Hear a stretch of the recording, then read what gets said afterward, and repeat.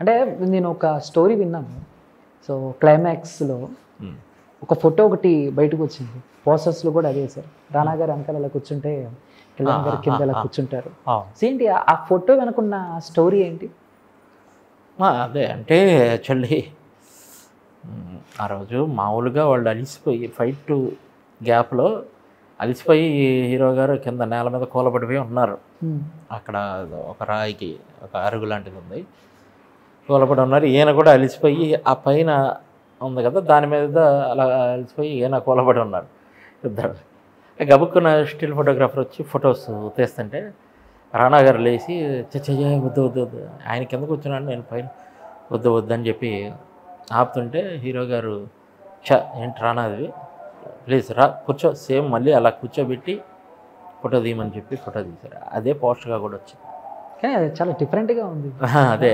అంటే ఆయన సాధారణంగా పెద్ద సీనియర్ హీరో పెద్ద స్టారు రాణా గారు ఒక రకంగా అప్కమింగ్ హీరో ఆర్టిస్ట్గా. బ్రహ్మాండ ప్రూవ్డ్ కానీ హీరోగా ఇప్పుడిప్పుడే ప్రూవ్ అవుతున్నారు.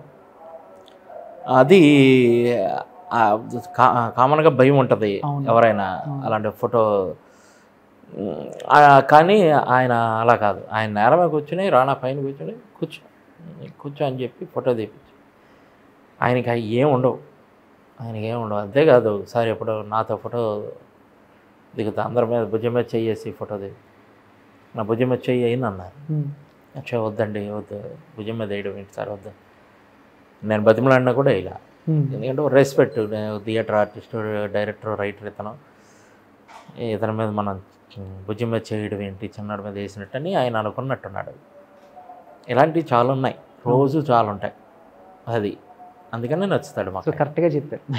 ఆ స్టోరీ వెనకున్న అదేంటో? ఆ, అవును. ఆ photo నేనే ఎదురున్నాను. కరెక్ట్గా చెప్పారు. ఎందుకంటే వాళ్ళిద్దరు ఎదురు నేనే కూర్చుని ఉన్నాను. నేను కళ్ళారా చూశాను కాబట్టి నాకు తెలుసు. బాగా చెప్పారు. ఓకే డాక్టర్ భీమ్లా నాయక్ గురించి చాలా బాగా చెప్పారు. అండ్ ఒకసారి మళ్ళీ మీ విషయాల గురించి మాట్లాడితే అండ్ మహాత్మా తర్వాత భీమ్లా నాయక్ పక్కన పెట్టేస్తే మళ్ళీ మీకు అంతగా గుర్తింపు తీసుకొచ్చిన పాత్రలు కానీ సినిమాలు కానీ పెద్ద పెద్ద అంటే చూస్తాకి బా బాడీ లాంగ్వేజ్ ప్రకారం సో లుక్ ప్రకారం చాలా బాగున్నారు. అండ్ విలన్గా బాగా సూట్ అవుతారు. కానీ ఎందుకు పెద్ద సినిమాలు పడలేదు మీకు? ఇంకా. లేదండి చేశాను. హిట్లు అవ్వలేదు కానీ డైరెక్టర్ తేజ గారు పెద్ద డైరెక్టర్. ఆయన సినిమాల్లో విలన్ అంటే డెఫినెట్లీ బాగా చేయించుకుంటారు బాగా డిజైన్ చేస్తారు.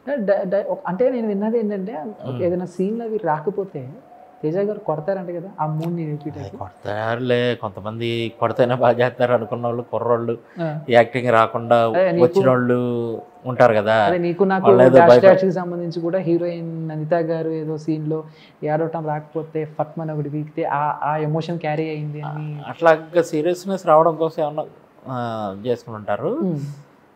అంతే చేసేవాళ్ళని ఏమంటారు? నీకు ఏది కావాలో చేయి చేసేవాళ్ళని ఏమంటాడు ఆయన? పైగా నా విషయానికి వస్తే పెర్ఫార్మెన్స్ మనం అంటే నాకు అంతకుముందే నాటక అభిమాని నా నాటకాలకు ఆయన బాగా అభిమాని. అట్లాగా బాగా మంచి పరిచయం ఉంది. పెర్ఫార్మెన్స్ చేయగానే బాగా ఉప్పొంగిపోయేవాడు అనమాట అట్లా ఉండదు. సరే అది ఆయన స్కూలు. ఒకవేళ ఎవరైనా కొత్త వాళ్ళు అంటే ఏమి లుక్ మనిషి నచ్చితే తీసేసుకుంటాడు కాబట్టి సినిమాలోకి. ఇక యాక్టింగ్ చేయించుకోవడానికి ఆయన స్టైల్లో ఆయన చేయించుకుంటా ఉంటాడు. ఏదైనా బయటకు అవుట్పుట్ సినిమా బాగా వస్తుంది వాళ్ళకి మంచి అవకాశాలు వస్తున్నాయి కాబట్టి ఇక ఆయన స్టైల్ అది.